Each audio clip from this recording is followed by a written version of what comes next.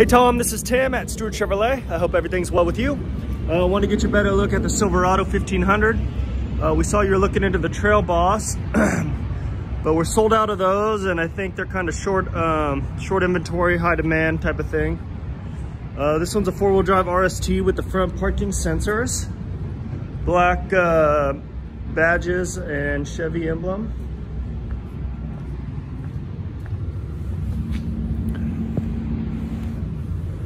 This is a crew cab uh, short bed.